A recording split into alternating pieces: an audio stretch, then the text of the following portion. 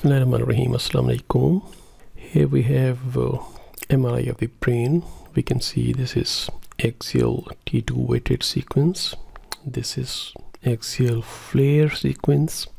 This is axial T1 weighted sequence. And this is coronal T1 weighted sequence. We can see there is uh, a well-defined cystic lesion in frontal horn of the left lateral ventricle in all these uh, images. Whenever we see cystic areas in the ventricles, we will have multiple differentials like uh, choroid plexus cysts, neuroepithelial cysts, ependymal cysts, and in third ventricle usually we see colloid cysts. These are all benign lesions, but sometimes when size of the cyst is increased, it can cause obstruction and leads to hydrocephalus. Thank you very much. Assalamu alaikum warahmatullah.